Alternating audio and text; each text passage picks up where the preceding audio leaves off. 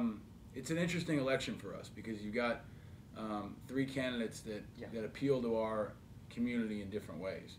Um, you know, McCain's a veteran himself, which has tremendous appeal within our community. Um, but he's been been pretty weak on, on veterans issues. As an example, he's not signed on to a new GI Bill, which we which we've been pushing for to get better educational benefits for all vets.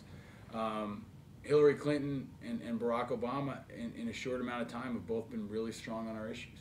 Um, they've, they've been out in front on mental health issues. They've talked about reforming the VA. They've talked about post traumatic stress disorder, and they're both signed on to the GI Bill. Um, Senator Clinton sits on the Armed Services Committee, which oversees all the military um, funding and operations, which is important for us. But Senator Obama's on the VA committee.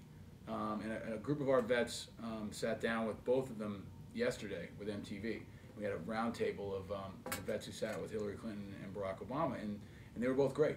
Um, John McCain wasn't there because he was in Iraq, which you know I guess is a good excuse, but I hope he makes time to sit down with him at some point soon. So, you know, I don't know. I think we're going to have to see who, who pans out. But as it stands right now, I think, uh, strangely enough, um, Barack Obama and Hillary Clinton are both better on veterans issues than John McCain. You wouldn't think so, but but right now, until he starts changing, that's the case.